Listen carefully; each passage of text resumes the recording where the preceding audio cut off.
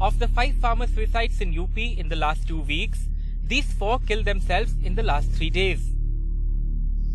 In Kaushambi's Bakhtiara village, the trigger for 60-year-old farmer Ram Babu Divedi's suicide could have been any or all of these. A recent loan recovery notice, accumulated loans of over 7 lakh rupees, or this rotting potato crop rejected by government procuring agencies.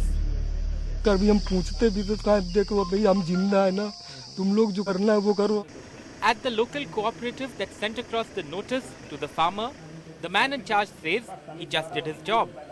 ये मेरा फ़र्ज़ है मेरा फ़र्ज़ है देना लोगों को कि भाई अपना अपना हिसाब मिला लिया जाए In Kanpur, Sachendi, 35-year-old farmer Shiv Kumar had taken a 70,000 rupee loan last year, but lost it in a substandard harvest. Four days ago, he drank pesticide. अब उनकी स्थिति देखते हुए उनके लिए साठ, सत्तर हज़ार रुपए, करीब सात, आठ लाख रुपए के बराबर थे।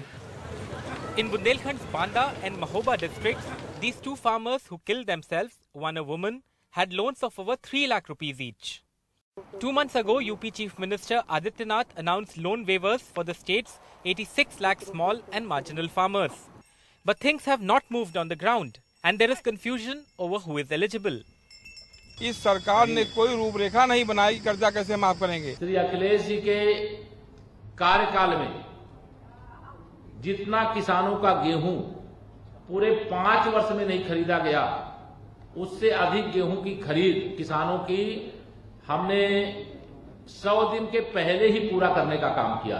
The politics over farm loan waivers and the general condition of farmers in Uttar Pradesh apart, it is very worrying that five farmers have taken their lives in the last two weeks. What is important is for the government to investigate the exact circumstances of their deaths. In Kanpur, with camera person Ramesh Verma, this is Alok Pandey, NDTV.